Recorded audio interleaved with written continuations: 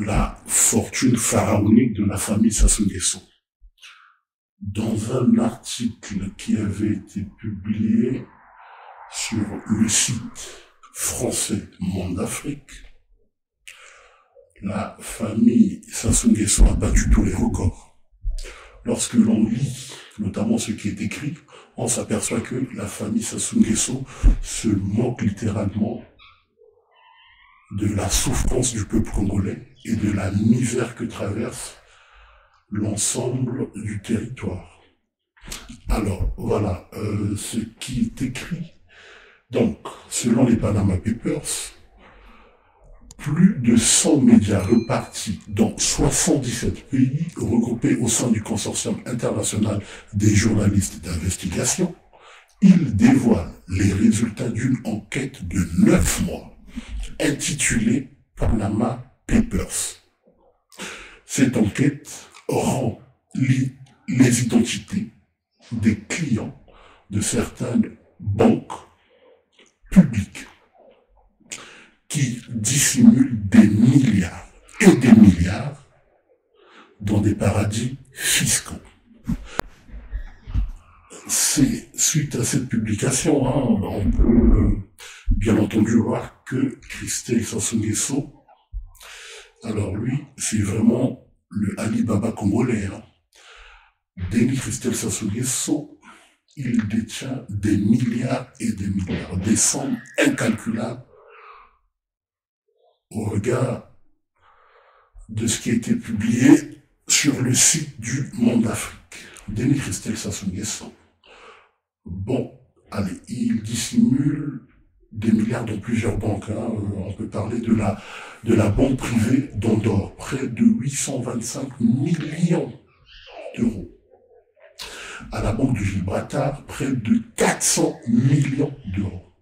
À la banque EFG de Gibraltar, près de 150 millions d'euros. Alors, à la banque Arab African International Bank, qui se trouve notamment à Dubaï, près de 460 millions de dollars. Oula. À la Bank of China Limited, qui est basée notamment à Hong Kong, près de 340 millions de dollars. Waouh! On va aller un peu plus bas. Alors là, nous avons là euh, le nom de Rodolphe Adada, qui est l'actuel ministre du régime du dictateur Denis Sassou à Paris. Alors, celui-même qui avait esté en justice un opposant politique congolais à la place de Paris pour diffamation. Alors, Rodolphe Adada, lui, il a plusieurs comptes aussi, hein, avec plusieurs millions. Il détient notamment près de 300 millions de dollars à la banque Oxybank Limited. Waouh Il a près de 200 millions de dollars à la banque of Bermuda Limited. Alors là, ça se trouve notamment sur les îles Caïmans. Il a près de 300 millions de dollars à la banque Fortis Bank Limited, aux îles Caïmans aussi, et notamment à Monaco où il détient un compte un sucré hein, de près de 5 millions d'euros. Alors là, euh, alors, alors, alors, sur, sur cette liste, hein, euh, celui qui est vraiment euh, l'un des plus gros fouleurs du régime du dictateur Sassou Nguesso, hein, c'est Jean-Jacques Bia. Waouh Alors lui, allez, je vous invite à visiter notre site info, notre site internet, hein, je m'informe.com, de sorte que vous puissiez lire cet article dans son intégralité.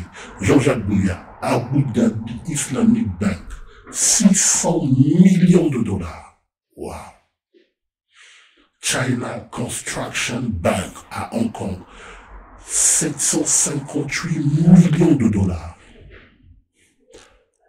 Arab Bank PLC, qui se trouve à Singapour, 230 millions de dollars. Alors là,